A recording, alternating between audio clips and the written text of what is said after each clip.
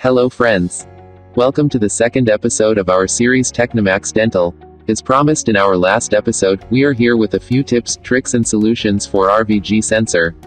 Let's examine the top ranking reasons for RVG sensor failure and how to avoid it. Towards the end of the video, we shall show you a solution that is easy and extremely cost effective to implement. We shall also be able to help repair most of the sensors. Do watch till the end to learn about a simple solution to increase the life of your RVG sensor. At number 9, if you clicked enough X-rays to deteriorate the sensor, the life of the sensor is over. Normally we have seen even up to 100,000 X-rays clicked on some sensors and that would mean about a decade or more of usage at most clinics. In most cases, the sensor is damaged due to other reasons much before the end of life of the sensor. That tells we can use the sensor much more efficiently.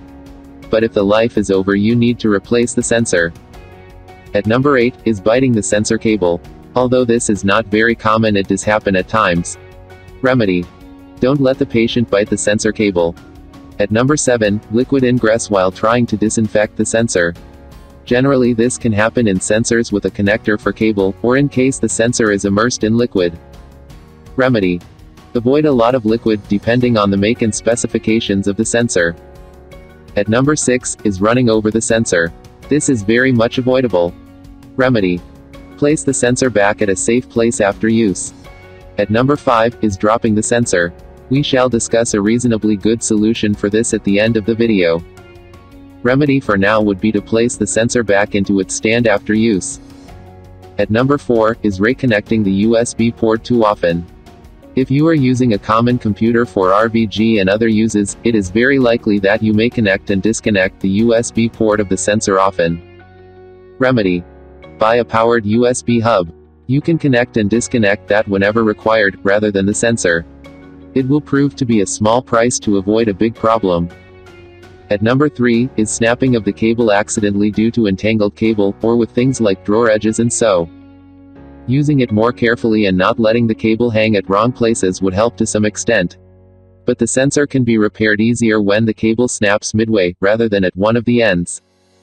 At number 2, is using cable for gripping the sensor and pulling the cable to get the sensor either out of the mouth or out of the protective sleeve. You can just avoid this. It shall save you lots of money. At number 1, the topmost cause of a damaged sensor is bending of sensor cable at the sensor end. This is seen happening at least 5 out of 10 times. Most of the times, it renders the sensor useless as it usually cannot be opened so easily. And this is the easiest problem to solve. See this RVG protector that can be attached on the back of the sensor. This shall avoid any sharp bend in the cable, near the sensor housing and if the cable snaps a little far away from the sensor, it is relatively easier and cheaper to repair. This protector shall also help to protect the sensor from being bitten, being dropped or being pulled in a wrong way. Drop in a WhatsApp message on 94220236658 with RVG or email us either to buy the RVG protector or to get your RVG sensor repaired. Thanks for watching. We shall be back with a new topic next time. Please remember to subscribe and like our channel.